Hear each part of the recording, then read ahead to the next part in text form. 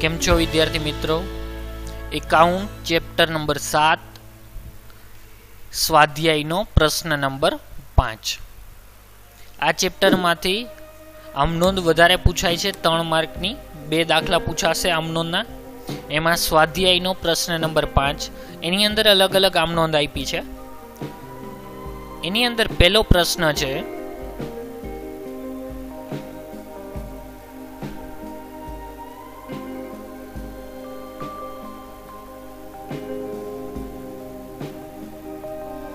પેઢીના વિસર્જન સમયે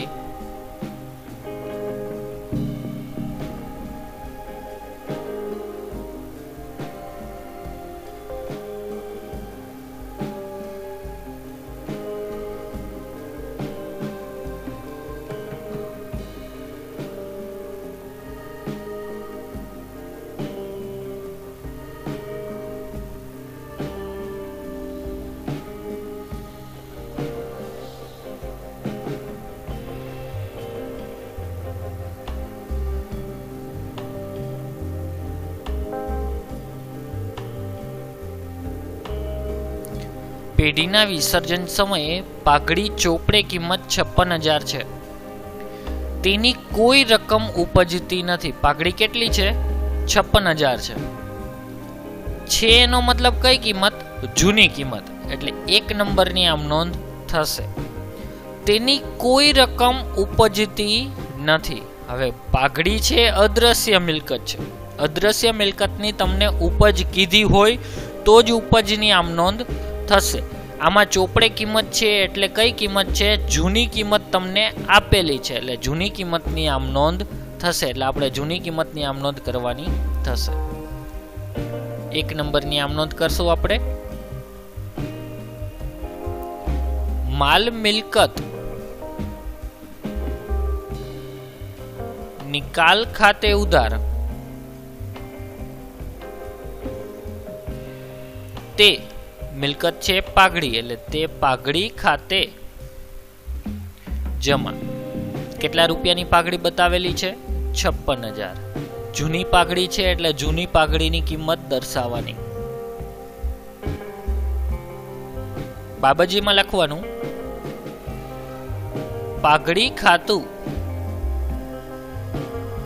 બંધ કરી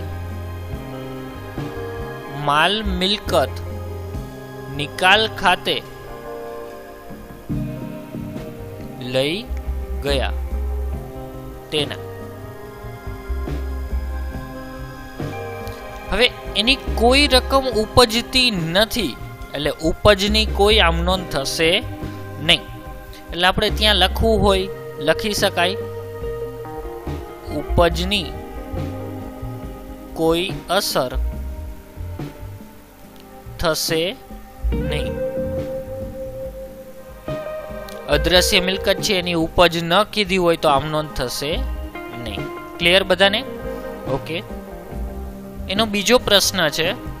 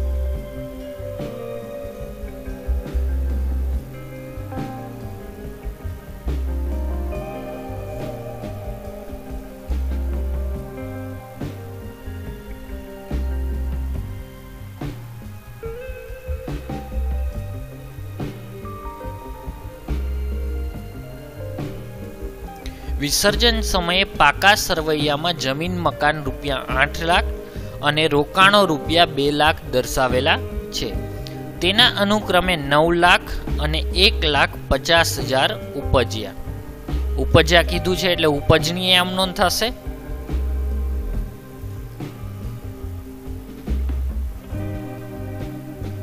સૌથી પહેલા ચોપડે દર્શાવેલી કિંમતથી આમ નોંધ થશે તો જમીન મકાન છે આઠ લાખના અને રોકાણો છે બે લાખના એટલે ટોટલ દસ લાખની આપણે અસર આપી.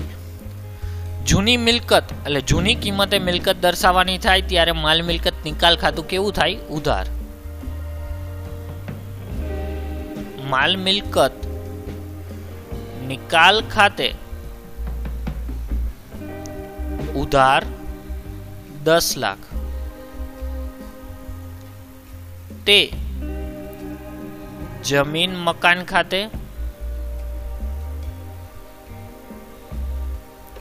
આઠ લાખ. તે રોકાણો ખાતે.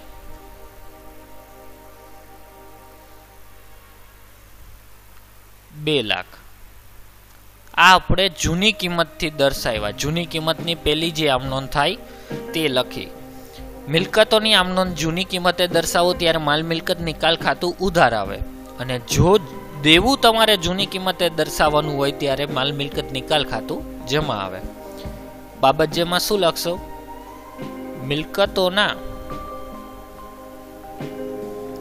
ખાતા બંધ કર્યા તેના. મિલકતોના ખાતા બંધ કર્યા તેના. હવે રકમમાં આપણને શું કીધું છે? કે તેના અનુક્રમે નવ લાખ અને એક લાખ પચાસ હજાર ઉપજ્યા. એટલે ટોટલ નવ લાખ જમીનના અને એક લાખ પચાસ હજાર રોકાણના. ટોટલ દસ લાખ પચાસ હજાર આપણને મળે છે, પેઢીને મળે છે. એટલે બીજી આમ નોંધ રોકડ મળે છે એની આમ નોંધ થશે. એટલે રોકડ બેંક આવે તો ઉધાર.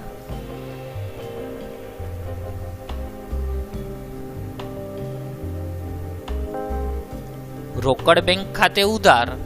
તે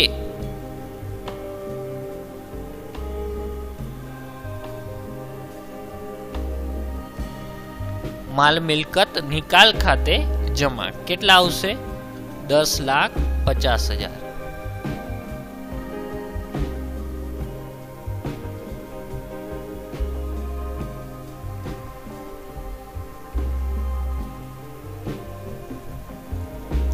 પેલી આમ નોંધ આપણે જમીન, મકાન, ચોપડે કિંમતે દર્શાવી તેની આમ નોંધ છે. અને વિસર્જન સમયે એના ઉપજ્યા એની આમ નોંધ આપણે કરી.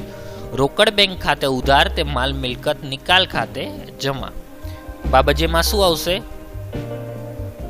વિસર્જન સમયે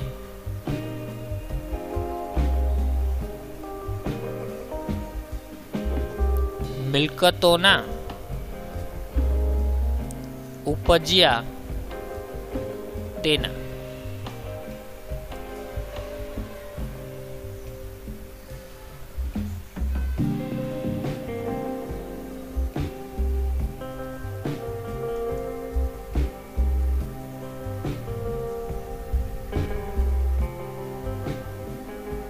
એના પછીનો ત્રીજો વ્યવહાર છે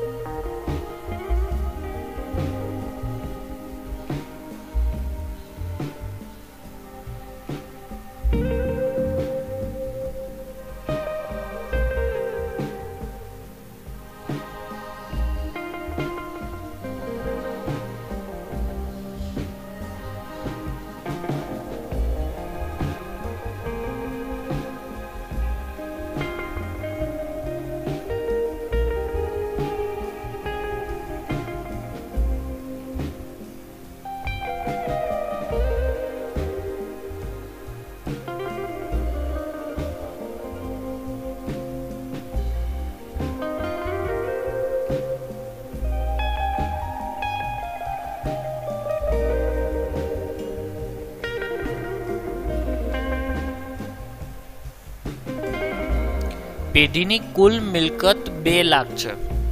જે પૈકી ચાલુ મિલકતો ચાલીસ ટકા છે, રોકડ દસ હજાર સહિત, એટલે ચાલુ મિલકતની અંદર દસ હજાર શું છે? રોકડ છે.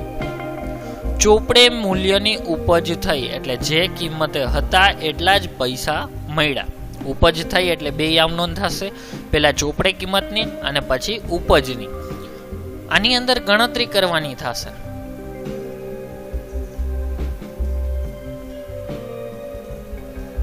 મિલકતો છે કેટલાની? તો કુલ મિલકતો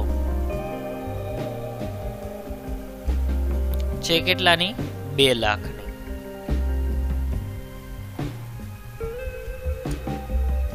એનો પેલો ભાગ પડે ચાલીસ ટકા ચાલુ મિલકત.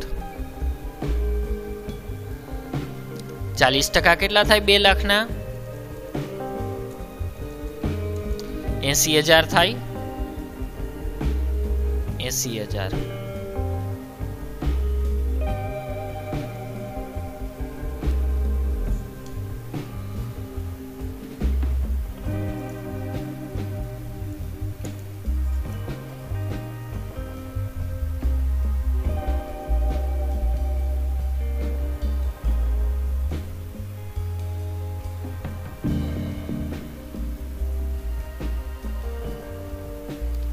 એમાં રોકડા છે દસ હજાર. કેટલા છે? દસ હજાર. તો દસ હજાર બાદ કરો. એટલે કેટલા આવશે? સિત્તેર હજાર. અન્ય. ચાલુ મિલકત. દસ હજાર શેના બાદ કર્યા? રોકડના. તો સાહીઠ ટકા શું થશે? તો સાહીઠ ટકા થશે સ્થિર મિલકત. સ્થિર મિલકતો. એક લાખ વીસ હજાર. તો આ જે બંને છે એ કઈ કિંમત છે? ચોપડે કિંમત છે. કઈ કિંમત છે? ચોપડે કિંમત. તો એ બંનેની પહેલાં આમ થશે. એક લાખ વીસ હજારની અને સિત્તેર હજારની. એટલે ટોટલ એક લાખ નેવ હજારની.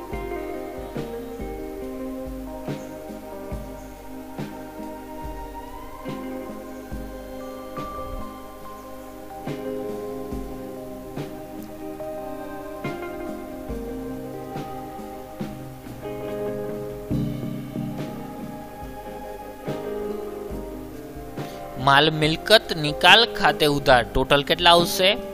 એક લાખ નેવ હજાર. તે પેલા આવશે સ્થિર મિલકત.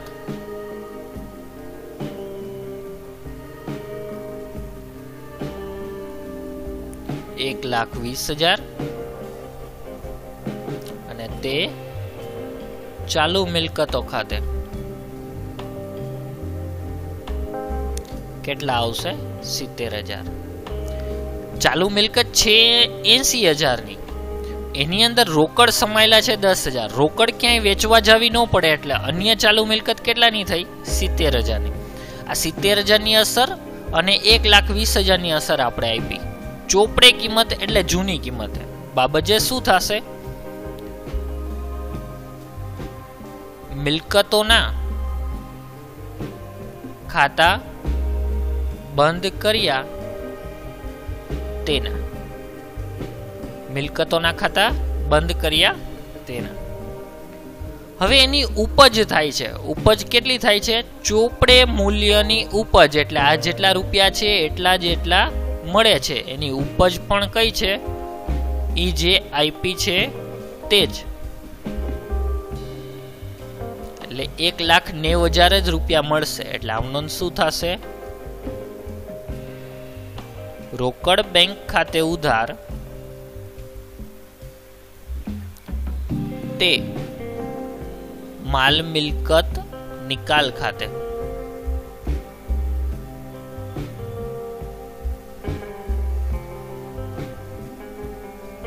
ચોપડે ઉપજ એટલે જેટલા હોય તેટલા તેટલા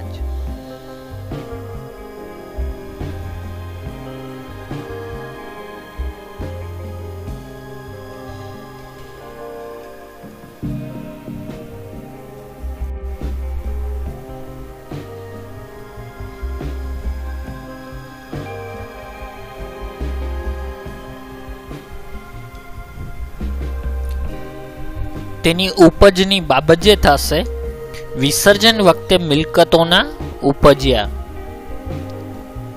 વિસર્જન વખતે મિલકતોના ઉપજ્યા. તેના. ત્યારબાદ ચોથો પ્રશ્ન છે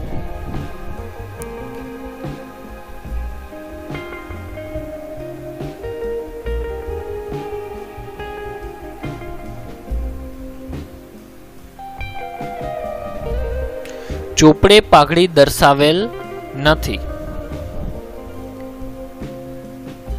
છતાં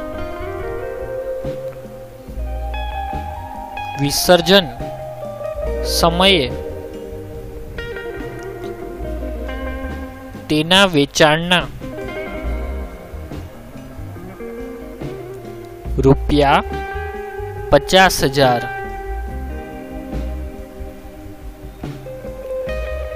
ઉપજ્યા.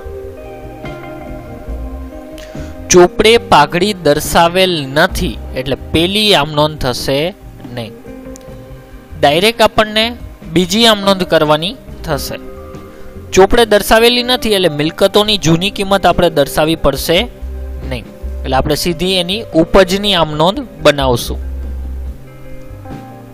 રોકડ બેંક ખાતે ઉધાર તે માલ મિલકત નિકાલ ખાતે.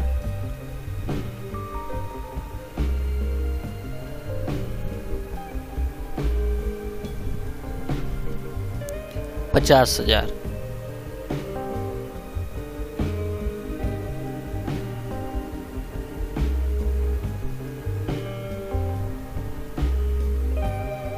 બાજીમાં લખવાનું પાઘડીના વેચાણના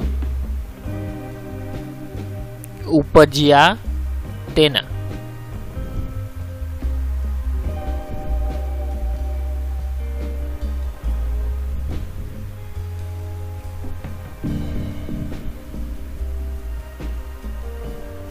એક જ આમ થશે. એની ઉપજ જ દર્શાવવાની છે આપણે. ત્યારબાદ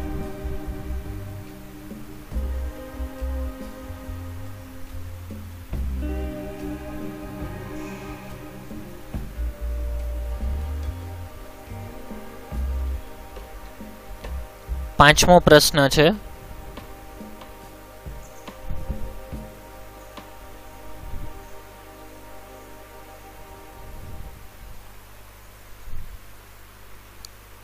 લેપટોપની કિંમત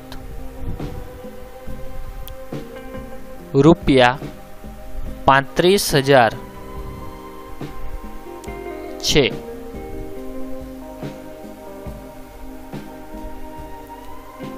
એક ભાગીદાર.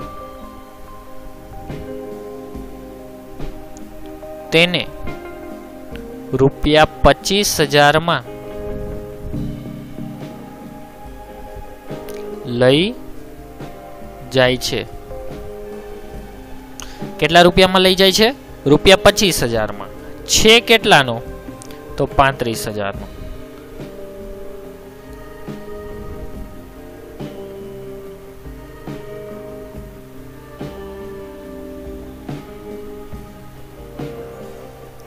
તો એની બંને આમ નોંધ બનશે.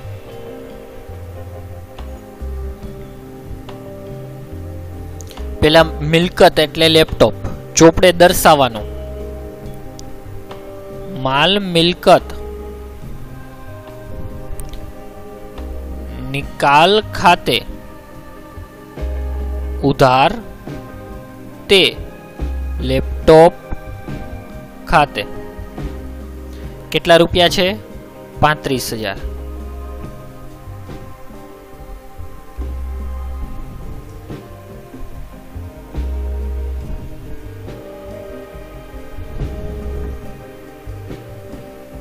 બાજીમાં શું આવશે? વિસર્જન સમયે લેપટોપનું ખાતું બંધ કર્યું તેના. હવે એને કોઈ ભાગીદાર લઈ જાય છે. કોઈ ભાગીદાર લઈ જાય તો રોકડ મળે તો રોકડ ઉધાર અને કોઈ ભાગીદાર લઈ જાય તો ભાગીદારના મૂડી ખાતે ઉધાર થાય. એટલે ત્યાં લખવાનું. ભાગીદારના મૂડી ખાતે ઉધાર તે માલ મિલકત નિકાલ ખાતે કેટલા રૂપિયા આવશે પચીસ હજાર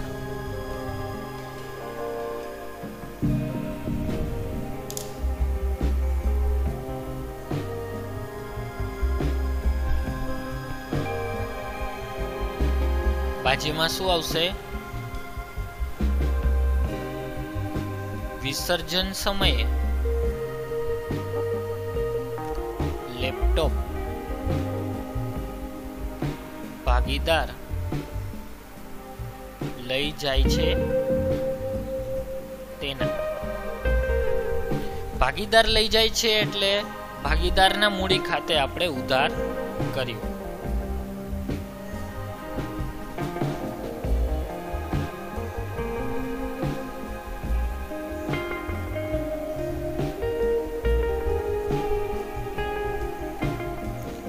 છઠ્ઠો વ્યવહાર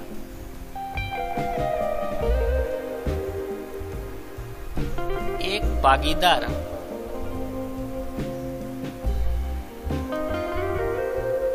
તેના શ્રીમતીજી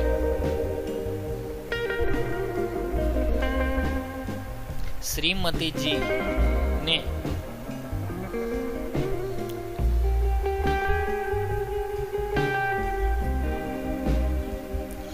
પેઢીને આપેલ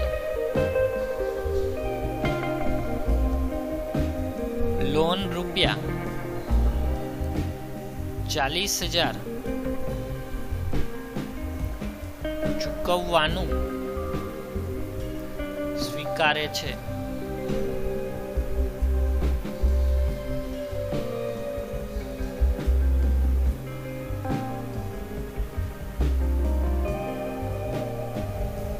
લોન કેટલાની છે? ચાલીસ હજારની. ચાલીસ હજારની લોન શ્રીમતીજીની લોન એટલે પેઢી માટે શું કહેવાય? દેવું. આ દેવું કોણ ચૂકવવાનું સ્વીકારે છે? જે તે ભાગીદાર. એક ભાગીદાર તેના શ્રીમતીજીની લોન. એટલે તેના શ્રીમતીજી એટલે એના વાઈફ એના વાઈફની લોન ચૂકવવાનું સ્વીકારે છે. તો આ સંજોગોમાં આમનોન શું થાય? તો સૌથી પહેલાં પેઢી માટે દેવું કહેવાય. દેવા માટેની આમનોન શું થાય? શ્રીમતીજીની લોન ખાતે ઉધાર.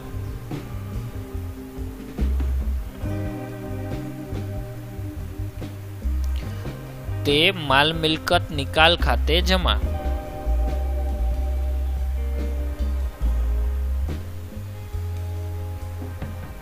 કેટલા રૂપિયા આવશે? ચાલીસ હજાર.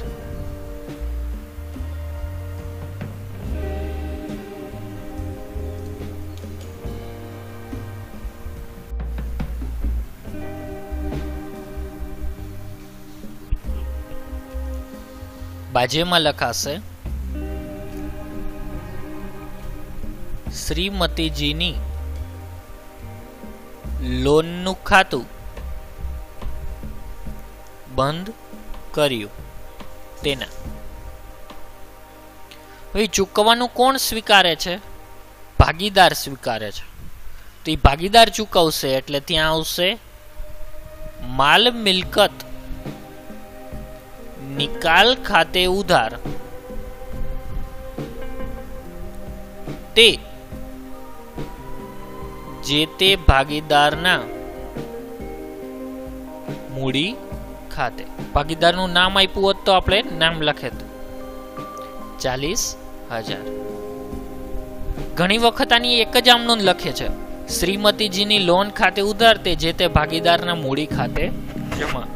આ રીતે પણ નામ નોંધ લખી શકાય. બાબજે શું? શ્રીમતીજીની લોન ભાગીદાર ચૂકવે છે તેના.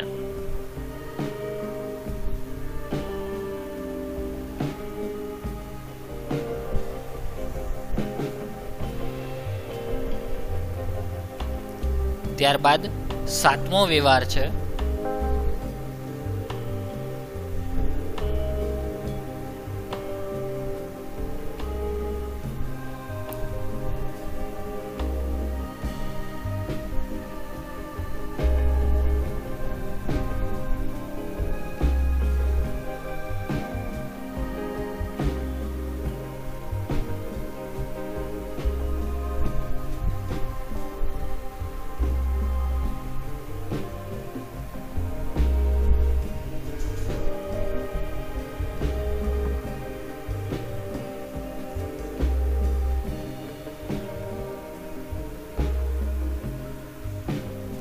આવકવેરાની જવાબદારી રૂપિયા ત્રીસ હજાર ચૂકવવાની થઈ, જે ચોપડે નોંધેલ નથી.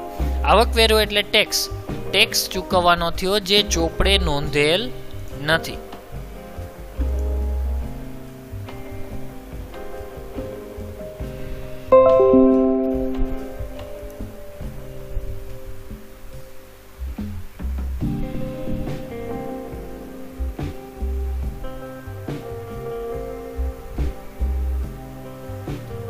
ચોપડે નોંધેલ નથી એટલે પહેલી આમ નોંધ થશે નહીં. ડાયરેક્ટ આપણે ચૂકવ્યો, તેની આમ નોંધ થશે. ચૂકવી એટલે રોકડ, જાય એટલે રોકડ જમા આવશે. તો માલ મિલકત નિકાલ ખાતું કેવું થશે? ઉધાર.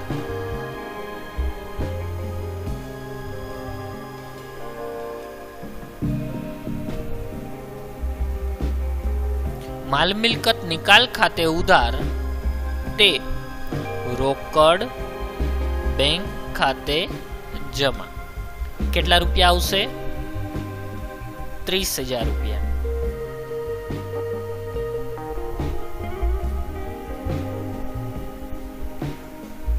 બાબત જેમાં લખવાનું, આવક વેરો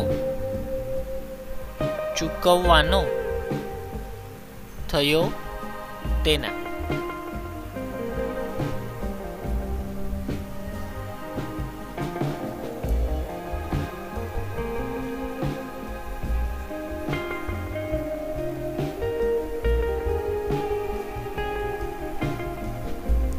આઠમો વ્યવહાર છે.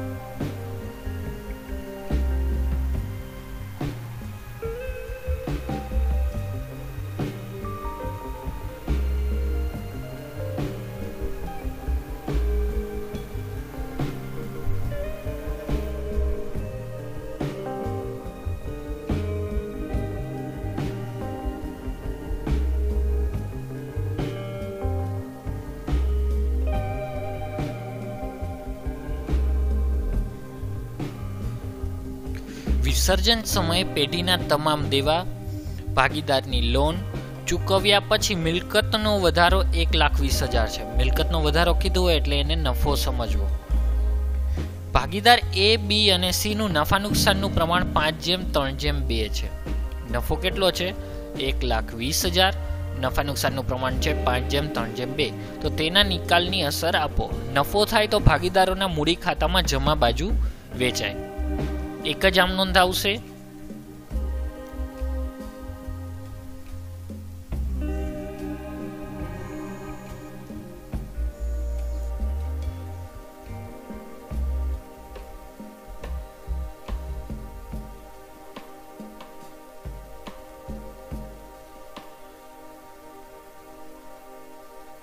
માલ મિલકત નિકાલ ખાતે ઉધાર તે એના મૂડી ખાતે તે બીના મૂડી ખાતે તે સીના મૂડી ખાતે. નફો કેટલો છે? એક લાખ વીસ હજાર.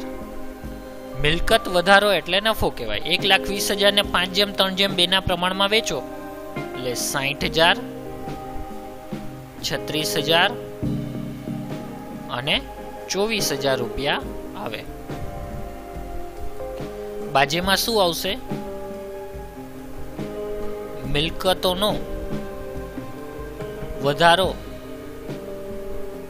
ભાગીદારો વચ્ચે વેચ્યો તેના.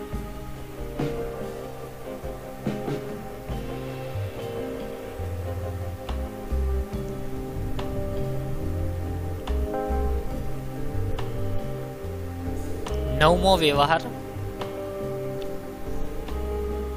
પેઢીના વિસર્જન સમયે યંત્રો રૂપિયા બે લાખ બતાવેલા છે.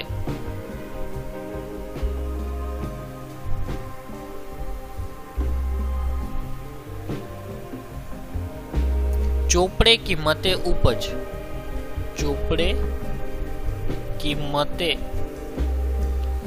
ઉપજે છે. ચોપડે કિંમતે એટલે બે લાખ રૂપિયાના બે લાખ રૂપિયા.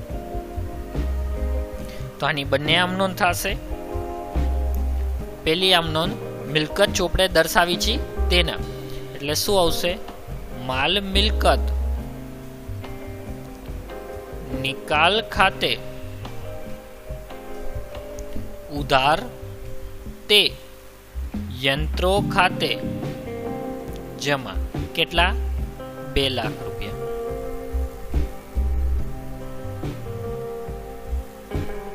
બાજુમાં લખાય, યંત્રોનું ખાતું બંધ કર્યું.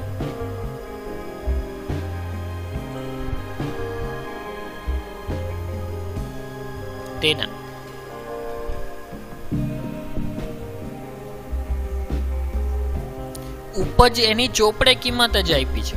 એટલે પૈસા મળશે કેટલા? બે લાખના બે લાખ. રોકડ આવે એટલે ઉધાર. એટલે રોકડામાં આવે છે. એટલે આપણે લખશું, રોકડ ખાતે ઉધાર તે માલ મિલકત નિકાલ ખાતે. કેટલા રૂપિયા ઉપજે છે? બે લાખના બે લાખ. ચોપડે ઉપજ કીધી છે એટલે એની જે લખેલી કિંમત હોય તે જ. યંત્રોની કિંમત ઉપજ થઈ તેના.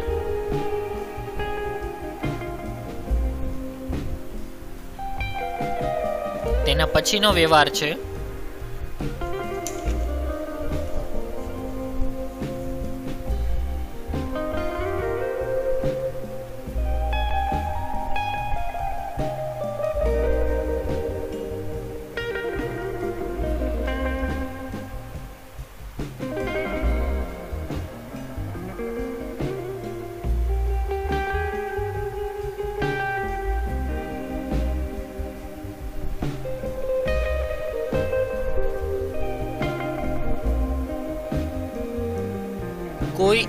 ભાગીદાર.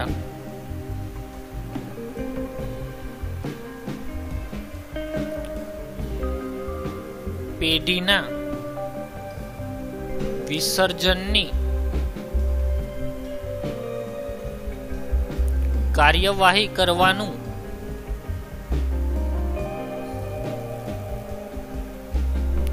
જવાબદારી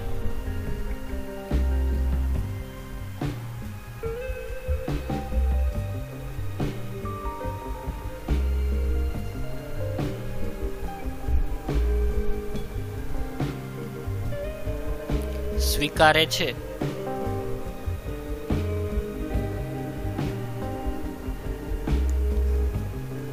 તેના બદલામાં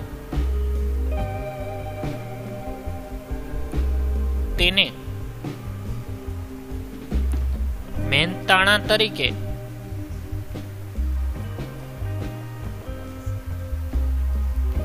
રૂપિયા વીસ હજાર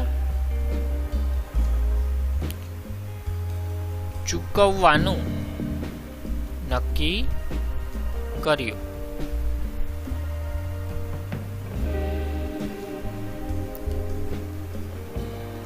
પેઢીએ તેને ખર્ચ પેટે રૂપિયા બાર હજાર ચૂકવ્યા. હવે આ આમનો બે રીતે થશે. પેલા વિસર્જનની જવાબદારી કોણ સ્વીકારે છે? ભાગીદાર. ભાગીદાર ચૂકવશે વિસર્જન ખર્ચ. એટલે ખર્ચ ભાગીદાર ચૂકવે તેની આમ નોંધ શું થાય? એ લખવાની. માલ મિલકત. નિકાલ ખાતે ઉધાર. તે ભાગીદારના મૂડી ખાતે. તે ભાગીદાર ચૂકવે છે, એટલે તે ભાગીદારના મૂડી ખાતે. કેટલો ખર્ચ એને મહેનતાણા તરીકે તો વીસ હજાર, એટલે ખર્ચ પેટે એને વીસ હજાર આપવાના. એટલે વીસ હજાર એને ચૂકવ્યા પેઢીએ તેને ખર્ચ પેટે કેટલા આપ્યા? તો બાર હજાર. પેઢી તેને બાર હજાર આપે છે, એ વીસ હજાર ચૂકવે છે. તો બાજ, બાર હજાર બાજે લખશું. ભાગીદાર વિસર્જન, ખર્ચ. ચૂકવશે તેના. ત્યારબાદ બીજો વ્યવહાર શું બનશે? પેઢી તેને પૈસા આપે છે. ભાગીદારને. એટલે ભાગીદારના મૂડી ખાતે ઉધાર. લેનાર ઉધાર અને રોકડ ધંધામાંથી જાય છે એટલે રોકડ બેંક ખાતે જમા. કેટલા રૂપિયા આપે છે? બાર હજાર રૂપિયા. બાજુમાં લખવાનું, પેઢીએ ખર્ચ પેટે રૂપિયા બાર હજાર ચૂકવ્યા. તેના.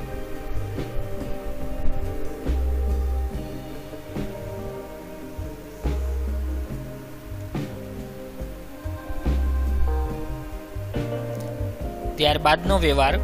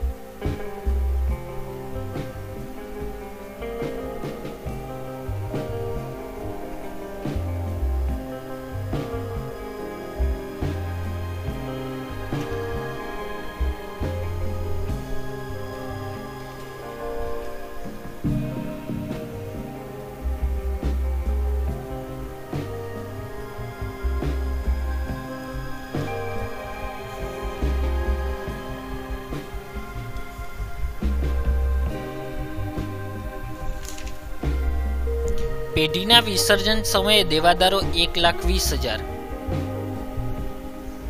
પેઢીના વિસર્જન સમયે દેવાદારો રૂપિયા એક લાખ વીસ હજાર. અને લેણદારો રૂપિયા સાઠ હજાર. છે. છે એનો મતલબ જૂની કિંમત. એક ભાગીદાર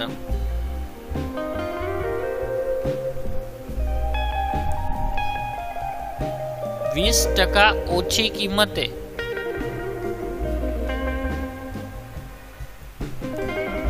દેવાદારો લઈ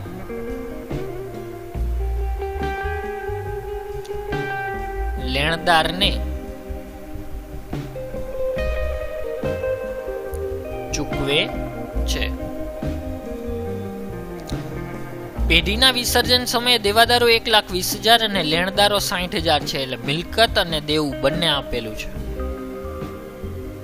મિલકત અને દેવું બંને આપેલું છે. તો સૌથી પહેલા મિલકતની આમ નોંધ શું થશે?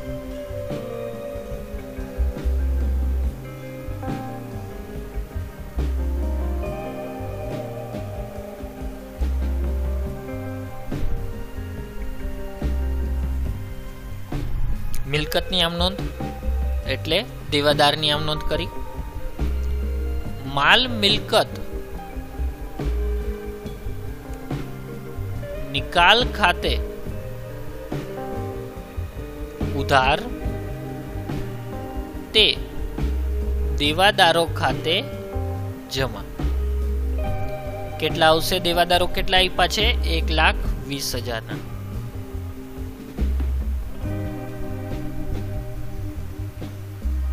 બાબજેમાં લખાય, દેવાદારોના ખાતા બંધ કર્યા તેના. બીજો વિવર શેનો બનશે? લેણદારોનો. તો આનાથી ઉલટી આમ નોંધ બન્યા. લેણદારો ખાતે ઉધાર તે માલ મિલકત નિકાલ ખાતે જમા. તે માલ મિલકત નિકાલ ખાતે જમા. લેણદારો છે કેટલાના? સાહીઠ હજારના.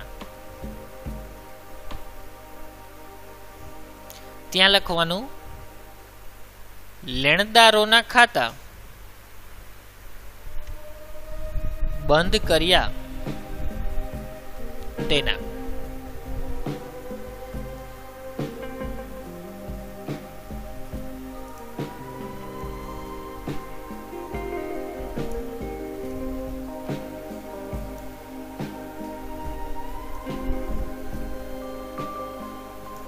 ચાર અમનોન થશે એમાં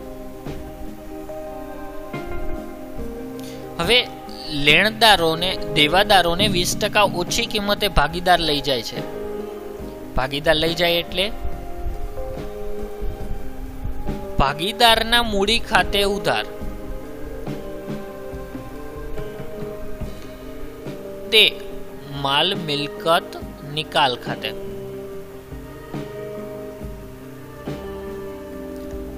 એક લાખ વીસ હજારના વીસ ટકા ઓછી કિંમતે લઈ જાય છે.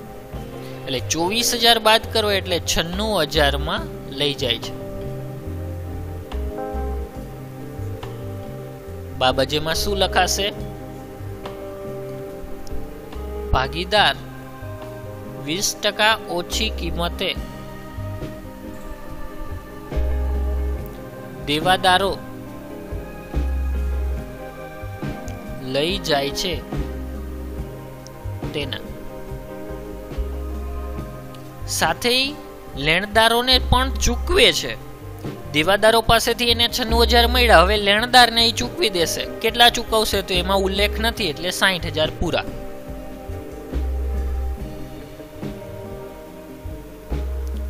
માલ મિલકત નિકાલ ખાતે ઉધાર તે ભાગીદારના મૂડી ખાતે. કેટલા રૂપિયા આવશે? સાહીઠ હજાર રૂપિયા.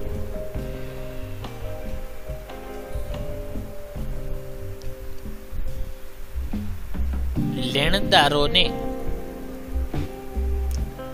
ભાગીદાર ચૂકવે છે તેના. બાબતમાં લખાયું. ચાર આમનોન થશે. પેલી આમનોન દેવાદારોની ચોપડે કિંમત, બીજી આમનોન લેણદારોની ચોપડે કિંમત, ત્રીજી આમનોન ભાગીદાર દેવાદારો લઈ અને લેણદારોને ચૂકવે છે. વીસ ટકા ઓછી કિંમતે દેવાદારોને લે છે એટલે છન્નું હજાર આવશે. અને ચોથી આમનોન લેણદારોને નાણાં ચૂકવે છે તેની આમનોંધ ત્યારબાદ આ દાખલાનો છેલ્લો વ્યવહાર એટલે બારમો.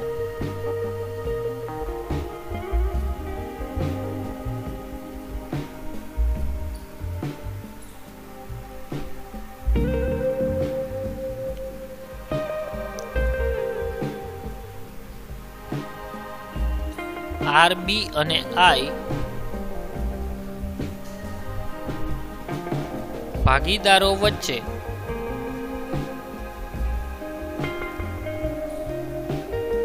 નફો નુકસાન. ત્રણ જેમ બે જેમ એક. ના પ્રમાણમાં.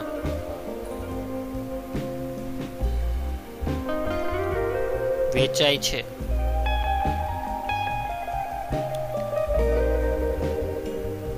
નીચેની બાકીઓનો નિકાલ કરો.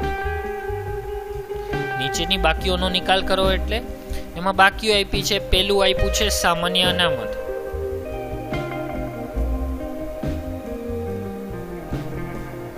કેટલા રૂપિયા આપ્યા છે? અઢાર હજાર. બીજું આપ્યું છે, નફા નુકસાન ખાતાની ઉધાર બાકી.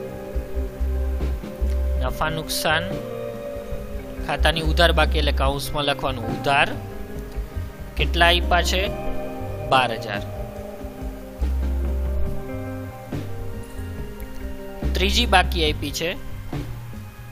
કારીગર અકસ્માત વળતર ભંડોળ. કારીગર અકસ્માત વળતર ભંડોળ. કેટલાની બાકી આપી છે? અઢાર હજાર. હવે આ દાખલો જોઈ અને તમારે ચોથું ચેપ્ટર યાદ કરવાનું છે. ચોથા ચેપ્ટરની અંદર આપણે બાકીઓ વેચતા હતા. એની અંદર શું કરવાનું? કે જોવાનું કઈ બાકી આપી છે. આની અંદર સામાન્ય અનામત કઈ બાકી આપી છે? કાંઈ લખ્યું નથી તો કઈ બાકી હોય? જમા હોય. કાંઈ લખ્યું ન હોય તો એ કઈ બાકી હોય? જમા હોય. નફા નુકસાનમાં લખેલું છે ઉધાર બાકી. કારીગર નફા ભાગ ભંડોળમાં લખેલું નથી, તો કઈ બાકી હોય? જમા બાકી હોય. જ્યાં બાકી લખેલું ન હોય, ત્યાં કઈ બાકી હોય? હંમેશા યાદ રાખો, લખ્યું ન હોય, ત્યાં જમા બાકી હોય. એટલે આ જમા છે, તો ઉધાર થશે. આ ઉધાર છે, તો જમા થશે. અને આ જમા છે, તો ઉધાર થશે. તો એની સામે આપણે શું મૂકશું? તો જમા હોય તો ઉધાર ઉધાર હોય તો જમા અને સામે ભાગીદારો આવશે. તો ભાગીદાર કોણ છે? આર, બી અને આઈ. તો સૌથી પહેલા સામાન્ય આમ, સામાન્ય અનામતની આમ નોંધ કરી. સામાન્ય અનામત કેવી છે? જમા. તો કેવી થઈ જશે? ઉધાર. એટલે પહેલા વ્યવહારની આમ નોંધ. સામાન્ય અનામત ખાતે કેટલા રૂપિયા છે? અઢાર હજાર. તે આરના મૂડી ખાતે. તે બીના મૂડી ખાતે. તે આઈના મૂડી ખાતે. એટલે આરબીઆઈ ના મૂડી ખાતે. અઢાર હજાર રૂપિયા છે, એને ત્રણ જેમ, બે જેમ એકના પ્રમાણમાં વેચવાનું છે. એટલે ગુણ્યા ત્રણ ભાગ્યા છ. એટલે નવ હજાર. અઢાર હજાર ગુણ્યા બે ભાગ્યા છ. છ હજાર અને ત્રણ હજાર.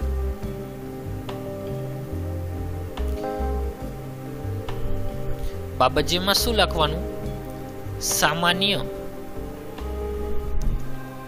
અનામત.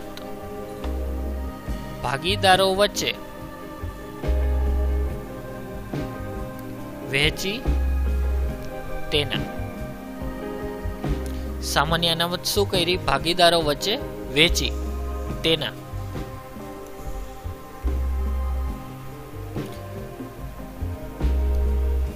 બીજું શું હતું? તો બીજું હતું નફા નુકસાન ખાતું ઉધાર. શું હતું? નફા નુકસાન. ખાતું ઉધાર બાકી હતી કેટલા રૂપિયા? બાર હજાર. તો બે નંબરની આમ નોંધ થશે. નફા નુકસાન ખાતું ઉધાર છે તો કેવું થશે? જમા. તો ઉધાર કોણ થશે? તો આરબીઆઈ. આરના મૂડી ખાતે ઉધાર બીના મૂડી ખાતે ઉધાર આઈના મૂડી ખાતે ઉધાર તે નફા નુકસાન ખાતે. ઉધાર બાકી હોય તો જમા જમા બાકી હોય તો ઉધાર. નફા નુકસાન છે કેટલાનું? બાર હજાર. બાર હજાર ને ત્રણ જેમ, બે જેમ એકના પ્રમાણમાં વેચવાનું. તો બાર હજાર ગુણ્યા ત્રણ ભાગ્યા છ એટલે છ હજાર બાર હજાર ગુણ્યા બે ભાગ્યા છ. ચાર હજાર અને બે હજાર.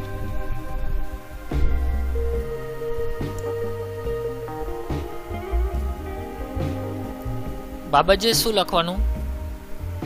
ભાગીદારો વચ્ચે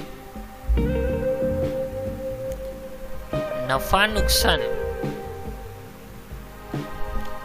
ખાતું વહેંચ્યું. તેના નફા નુકસાન ખાતું એટલે નફા નુકસાન ખાતાની બાકી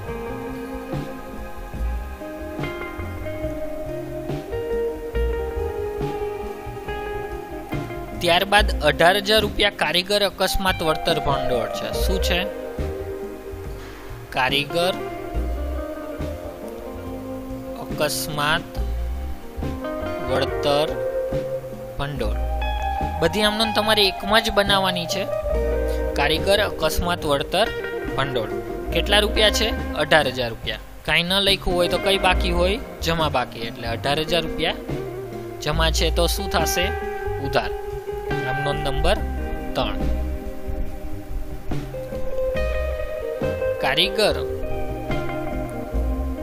અકસ્માત, વળતર, ભંડોળ.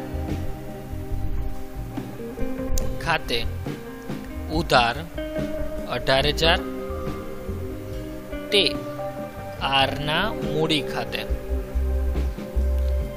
તે બીના મૂડી ખાતે. તે આઈના મૂડી ખાતે. એટલે આરબીઆઈના મૂડી ખાતે. અઢાર હજાર ને ત્રણ જેમ, બે જેમ, એકના પ્રમાણમાં વેચો એટલે નવ હજાર છ હજાર અને ત્રણ હજાર આવશે. બાજુમાં શું લખવાનું? કારીગર, અકસ્માત, વળતર, ભંડોળ. ભાગીદારો વચ્ચે વેચ્યો તેના.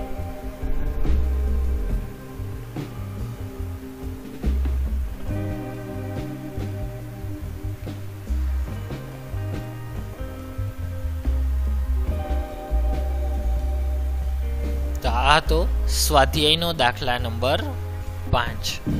સ્વાધ્યાયનો દાખલા નંબર એટલે પ્રશ્ન નંબર પાંચ, એની અંદર એક થી બાર વ્યવહાર. હવે પછીના લેક્ચરમાં આપણે આના વિશેના પ્રેક્ટિસના દાખલા ગણશું. સાથે સ્વાધ્યાયનો પ્રશ્ન નંબર છ પણ ગણવાનો છે.